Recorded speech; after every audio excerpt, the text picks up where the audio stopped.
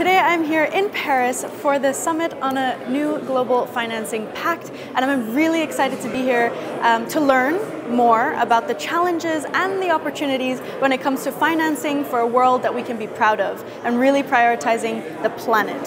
So I am uh, here representing or trying to learn more from experts, from government leaders, but also interact and engage and make sure the presence of young change makers are in these rooms. I think it's incredibly important to have civil society be a part of these events, on stage, off stage, in the networking, because for many of us, especially from the global south where I'm from, climate change is not a statistic. It's not a number that we see on the screen. Instead, it's an everyday part of our lives. So in order for us to be making the decisions and regulations that support and empower us, we have to be part of these spaces and part of these discussions. So we're making sure that it's a reflection of what we really need to see on the ground. And many of us can speak from a place of experience of what we see works and doesn't work. So it's bringing a little bit more of reality into these spaces.